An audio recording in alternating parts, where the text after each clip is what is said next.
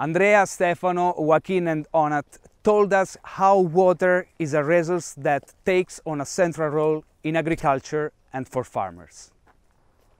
Whatever, differences uh, in cost, access and distribution, as well as infrastructure and uh, regulatory management, mean that water is a resource that needs to be preserved and optimized. Therefore, improving the productivity of water resources understood as an increase in productivity or economic value per unit of water use has become a highly topical and important issue for the future of agriculture.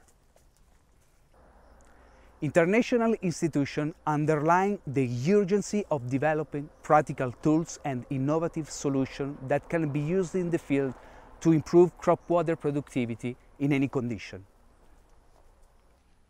To achieve this goal, Valagro Research has led to the development of Talete, a solution that encourages sustainable production through proper and careful management of water, both in condition of standard water availability and permanent or temporary water scarcity.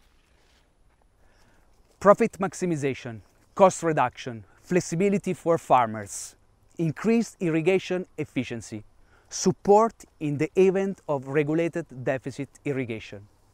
These are the benefits that Talete offers to help farmers around the world.